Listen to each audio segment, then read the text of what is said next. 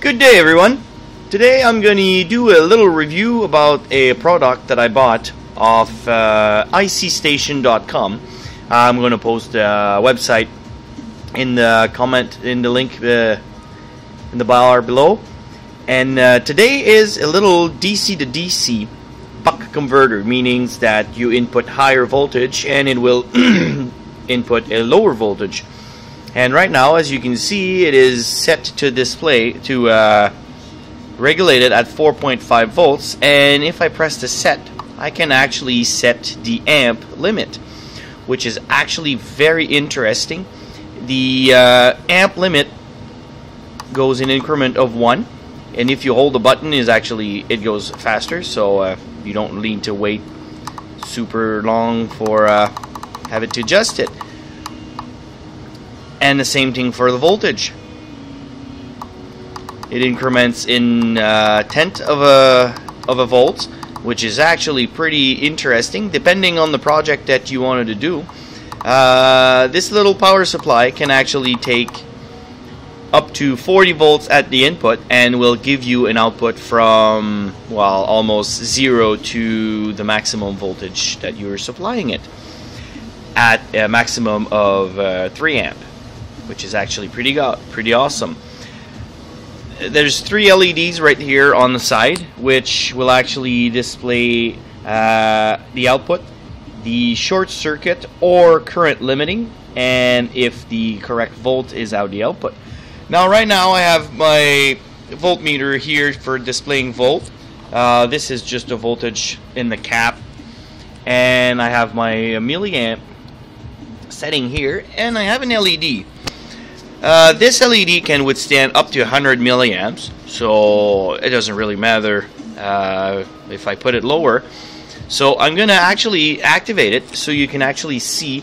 Right now it sets it's set at 4.8 volts, which technically if you put 4.8 volts in a diodes in an LED, everybody knows what's to happen. It's not to be very happy.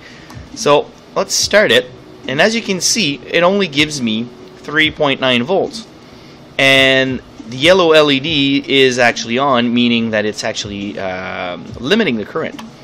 And as you can see right now, it's pushing roughly 18 milliamps. So let's go on both multimeters, see if those are correct. 3.10 volts, 3.9, it's, so let's say 3. Point, let, let it on 3.9, and milliamp is actually pretty close to what I said it, 19.9 milliamps. It is actually pretty good, and my LED is nice and shiny, doesn't get warm, and I don't burn it.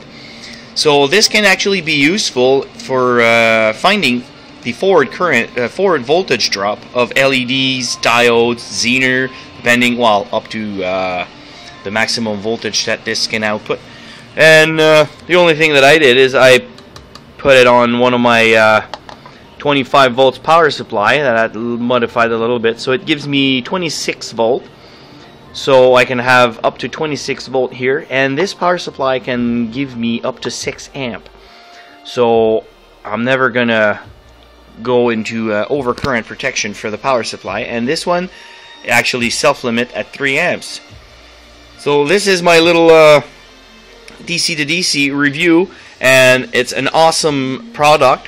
I recommend it for people who wants to buy a little uh, very very inexpensive power supply and very stable. I have it running for a couple of days now before I done the review. I've tested with LEDs, with all bunch of stuff. Uh, varying load. I have some flickering LEDs wandering around, and these actually vary uh, depending on the intensity and this power supply actually perform outstanding. And it goes for about $20 so $20 the only thing you need is a power supply well something that will give you the maximum voltage that you need. So from anywhere from uh, transfo to actually a computer power supply you're all set. So uh, thanks for watching. Have a good day